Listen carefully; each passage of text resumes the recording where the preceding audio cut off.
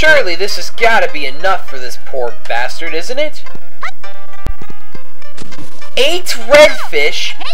Of course! And now catching eight redfish is probably the worst. Because you literally, you literally go to every part of the Zazentown Duck Creek, as it's called, catching these damn fish.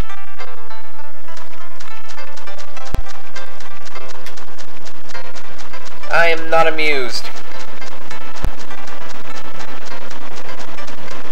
Alas, there's one red fish near the waterfall. Now we need to go all the way back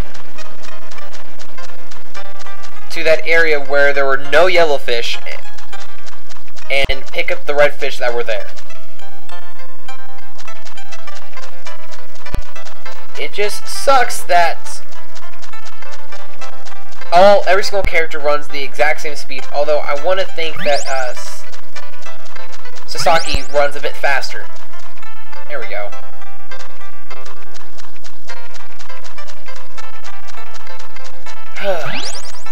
I'm having fun, aren't you? Don't you just love these fetch quests? Especially when it involves catching different colored fish for some lazy fisherman.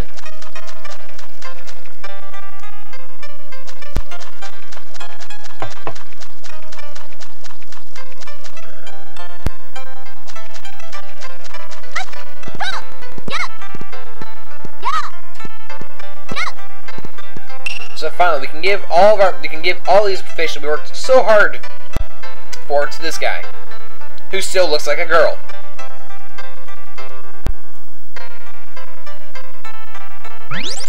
You asshole. And all we get is a log? Oh, received an Achilles heel. Ah ah, ah, ah, ah. Oh, don't you get it? Because this log is apparently the Achilles heel of the asshole who's blocking the bridge. I love the logic in this game. Let's go be slaves to catch food for this lazy fisherman who looks like a girl. And all we get is a log. You know, not a sword or a witty comeback, even though the witty comeback would be resolved for any Monkey Island game. Okay. But of course, this log is just the key to the very first mini-game of this game. Yes. This game has, has mini-games, and the majority of them are used to get uh, your character's magical abilities.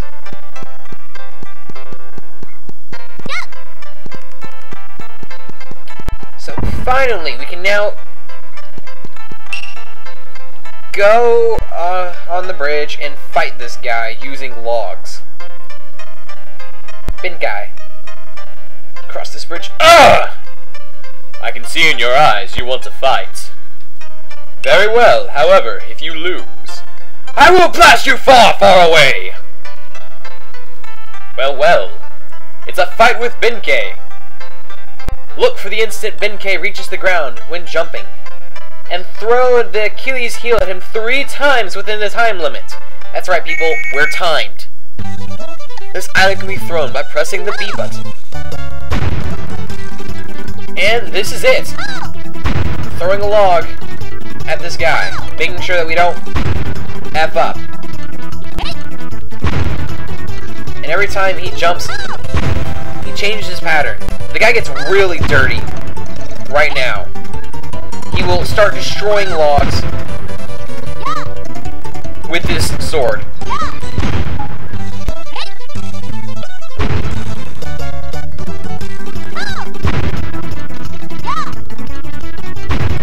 Okay, I'm not gonna... I'm gonna lose.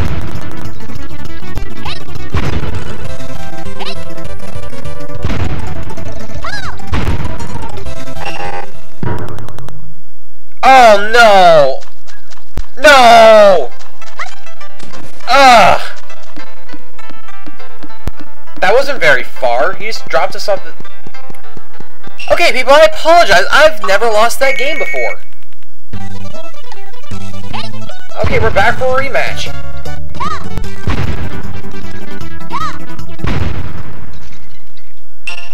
Yeah, the guy gets smart and realized that maybe...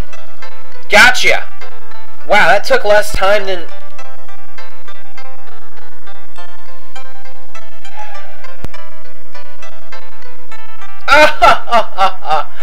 oh, and this is where the term Achilles' heel was. It's not from, you know, the ancient battles where Achilles got that back part of his heel cut off and that was his only weak point. No! It's because of people were throwing logs at some asshole who was guarding a bridge just because he wanted money. oh, God. And Ebisumaru points out that we know that's not the truth. Ugh! To be defeated in the same manner as I was by Ushiwaka. I beg you, please don't tell anyone that I lost, please. I'll let you pass the bridge at will, and I'll give you something from my collection. and it's a rather dead-looking Sasaki. What Benkei pulled out was a all stiff, with batteries almost falling out. It was none other than the mechanical ninja Susu Suzuki. Whatever.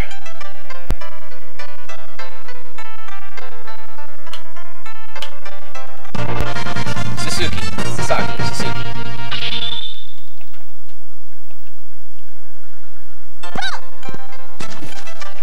And he's dead! we can't use him until after we get past Ghost... I just jumped, whatever. We really can't use him until we get past Go Ghost Toy Castle and then go into the Chugoku region, which is where we find two batteries to place in his back. Ah, Yamato. Place has probably one of the best overworld music uh, next to uh, the Inga region.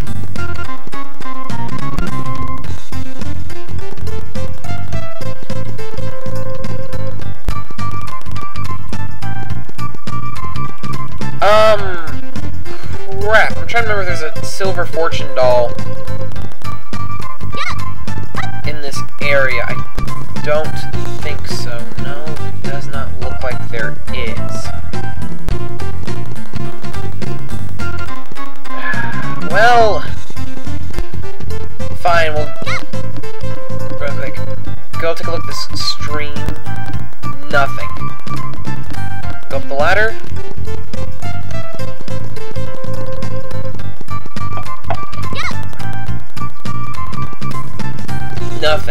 Okay. But don't worry. Before we uh, continue on the path we need to go, we're gonna we're gonna stop by a small area real quick to not only get money, but also to help us gain access to this small building. Which this is not the next dungeon. This is just a little building where, yeah, the door is locked with magical powers. Yes, it's the Yamato Shrine. And that is not the next dungeon. That is just a little area where I believe we can get two Silver Fortune Dolls and an extra player. So as you'll notice, there are two entrances to this forest. However, we're going to want to take this one first.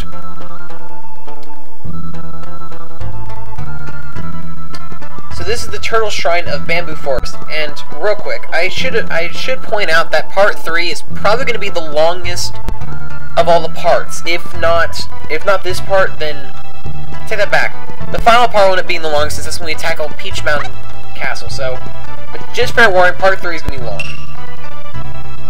So as you can see, we have a cross with a small turtle rock in it. And if we read all the signs,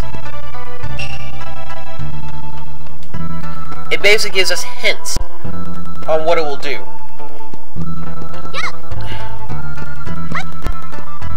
Magical red gate shall take you to a new land.